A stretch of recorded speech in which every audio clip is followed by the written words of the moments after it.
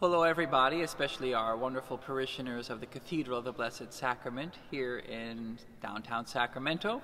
This is your pastor, Father Michael O'Reilly, uh, just preparing you for the beautiful day that we hope soon will arrive in the opening up our churches for the celebration of the Eucharist and no longer having private Mass here. So there are a few things uh, as we recognize the, the changes that are going to take place when those first Masses begin.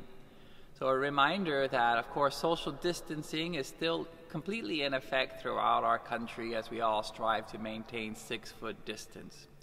So that will still be in place when we begin our masses here. So the church will all be marked off so that you'll know where to sit and be in your proper space six feet apart.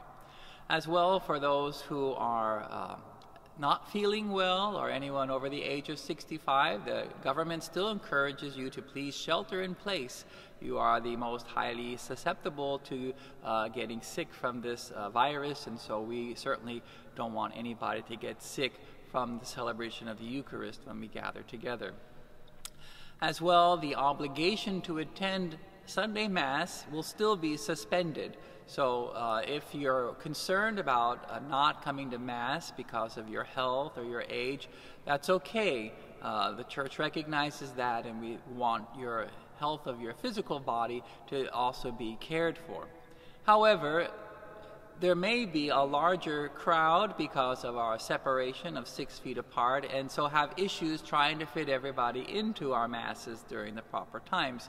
So, because Sunday worship is not obligatory, you can also attend any of the daily masses which are not as attended as part of your worship experience. So, please consider attending Mass during the week as an option.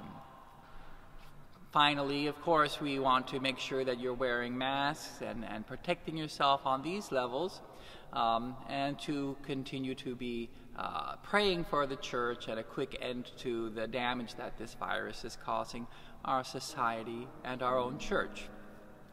We appreciate your prayers, and I'm looking so forward to seeing you all in the future. God bless you. The following video provides protocols as we prepare for the return of the celebration of public masses. We are requiring everyone over the age of two years old to wear a mask that covers your mouth and nose. Please make sure to put on your mask prior to arriving at the cathedral and wear your mask throughout the Mass and while on the cathedral premises.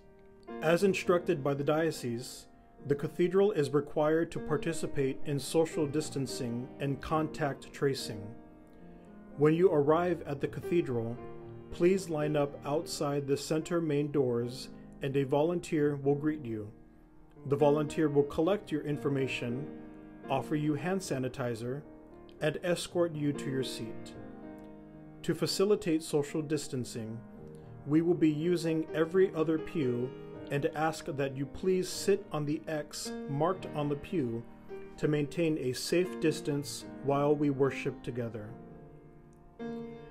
As you enter the cathedral, the left side has been designated for individual seating, while the right side has been designated for household and family seating. Once you have been escorted to your seat by the volunteer, we ask that you remain in place until the Mass has concluded. Please note, the restrooms will not be opened. We encourage downloading a digital worship app such as iBreviary, Laudate, or Magnificat in order to allow you to follow along with the order of the Mass and readings on your mobile devices. Additionally, you may download our Cathedral Worship Aids from our website and Facebook. Holy Communion will be distributed to you directly in the pews. If you wish to receive communion, please stand as the Eucharistic minister approaches you. Remove your mask and remain in your pew. It is encouraged that you receive communion in the hand. If you would like to receive a blessing, you may indicate this by crossing your arms over your chest. Once Mass has concluded, a volunteer will guide you pew by pew to the nearest exit. While we understand members of our parish family would like to pray in the cathedral after Mass, we respectfully request that you please vacate the church as directed by a volunteer to allow sufficient time to sanitize the cathedral before the beginning of the next Mass. As you exit the cathedral, please continue to be mindful of the social distancing guidelines currently in place. Again, I'd like to thank you all for watching this video and preparing yourself for what will be a beautiful day when we open up our church for public Mass. It's just a wonderful opportunity to remind us all to do our best to stay healthy and to pray and be healthy both physically, that's important, and especially spiritually. God bless you all, and you're all in my prayers.